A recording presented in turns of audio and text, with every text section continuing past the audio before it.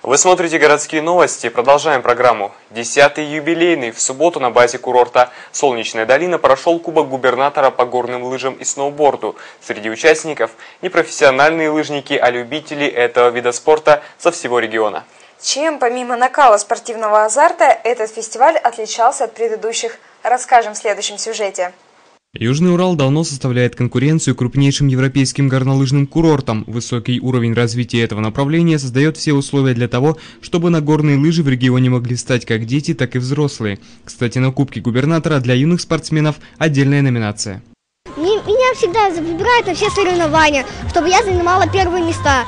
Бывают такие случаи, что не занимаю, бывает не занимаю.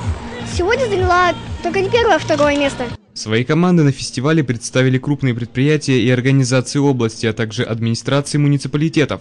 В числе представителей команды правительства области министр образования и науки Александр Кузнецов. На Кубок он приехал впервые, однако намерен сделать свое участие регулярным. Наверное, как и все, буду кататься. Я думаю, что 10-й уже юбилейный кубок губернатора, это все-таки значимое такое событие. Я стараюсь не пропускать их ежегодно. Вот, и детей своих приобщаю, семью. Замечательное событие.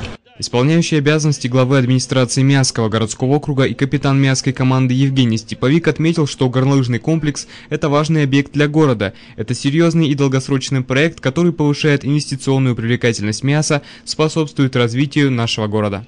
Более того, команда из города Миаса, команда администрации также будет участвовать в соревнованиях и надеемся на победу. Все для этого приложим. Всех участников соревнований поздравляем и желаем всем успехов и победы. Специальным гостем праздника стал путешественник Федор Конюхов. Как это не удивительно, но именно на этом мероприятии ровно 10 лет назад был дан старт пересечению Атлантики. Сегодня Федор рассказал присутствующим о начале реализации проекта уникального путешествия – одиночной экспедиции из Перу в Австралию через Тихий океан на 11-метровой лодке. Ежегодно Кубок губернатора по горным лыжам и сноуборду приносит помимо ярких побед еще и новые перспективные проекты. Вот и этот год не стал исключением. Игорь Каблуков, Александр Лядов, программа «24 МИАС».